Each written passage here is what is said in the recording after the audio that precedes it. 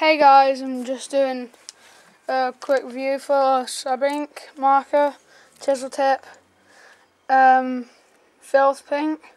It's a really good marker and you can get some really good effects and stuff out of it. So, get into the review. I just put the camera down quick. Okay, so I'll just quickly quickly here. I'll just quickly, yeah, I'll just quickly do a review of this. Yeah. So I'll just do,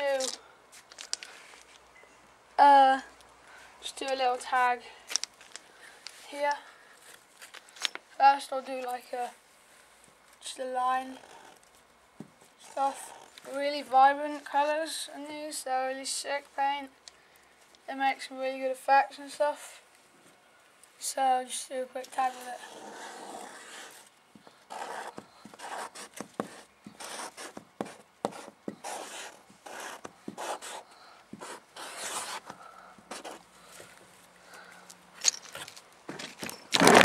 Oh sorry, I just fell over.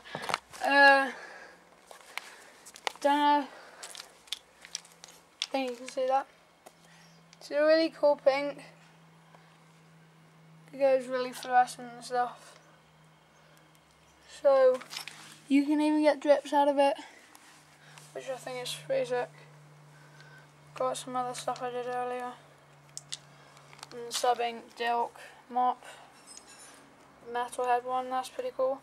I got um, um, requested this review from Ease, Ease Graffiti. Uh, he requested me. I actually met the guy. He's really cool. So, Marilyn Stencil. Um, I'll put his link in the description. See ya.